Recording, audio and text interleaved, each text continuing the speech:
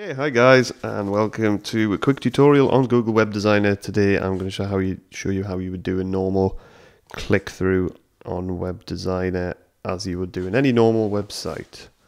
I've actually been using Web Designer to create an iPad kiosk, and it's a very useful tool for doing simple kind of navigation things with audio and video and stuff. But just for this one, I'm going to show you how to do a basic navigation. So we're going to create a new file um, we are going to choose HTML with pages as the type because we want it to act just like a website. Let's give it a name. We're going to call it Clicky. Uh, if I can spell Clicky, I'm going to call it Clicky. Uh, choose where you want to save it. You can give it a title, which will be the actual web page title. It doesn't really matter. We'll just call it Clicky again, and we'll hit OK. And you are presented with your blank canvas. So um, we can change the size of the canvas in the properties down here. Um, let's, why not? Let's change it. Let's make it 1280 by 720, nice 69 canvas. Zoom out a little bit so we can see it. Not to go that. Okay, so this is our page one. So if you go down here to your little page pull-up menu, you can see the name of this page is page one. We'll change that because, well, it's just standard, call it index. Um, and we are going to take a look at this little menu here. There's a little plus sign down here that just adds a new page. This one deletes it. You can't delete the index because then you might as well not be doing anything. And you've got this one here that is a copy button. Um, I'll come back to that in a sec. So what we're going to do is um, we are going to create tap area. So you've got components over here. These are all the different things you can place in it. Um, I'm going to do a few more tutorials on a couple of little things in there, but for the minute we just want to concentrate on this little fella. So we'll drag that over here, and there we end up with tap area. So all that does is create an area that you can then attach some sort of event to. Um, as it is at the minute, it's not going to be very exciting. If we go to preview up here, click preview, you end up with not a lot. So, for the purposes of this tutorial, we'll give it color. So, let's make it red. So then, command and enter. Command and enter is preview. Preview, sorry. So, and if you hover over that, you get the little little clicky finger. It won't do anything in the minute because we haven't told it to do anything. Let's get rid of that. So what we want to do is navigate between two pages. So we're going to need another page. Let's go down here.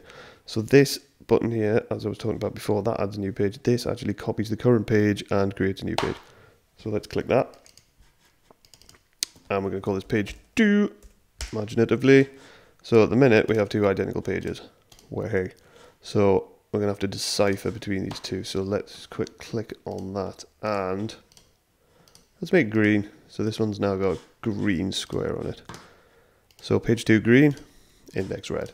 So in order to navigate, we are going to have to assign an event to this tap area.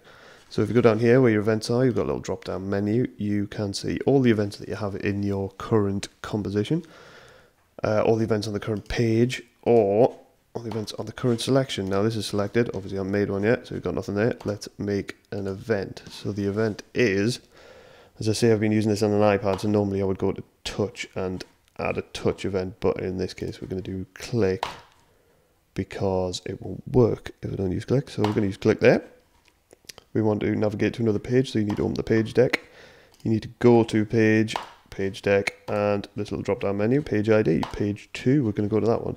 Transition, this is um, just gives you a few different options. You can slide, fade, or push. We're going to go for fade because it looks nice. You've even got easing because Google's that good ease in and out. Uh, that doesn't apply to this particular transition, so we'll go to OK. And if we look down here in the events, under selection, we now have an event attached to it. So let's go to page two.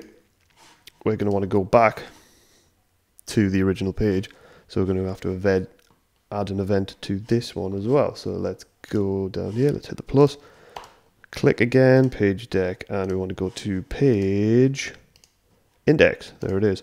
This time, let's pick a transition. Let's do a slidey transition.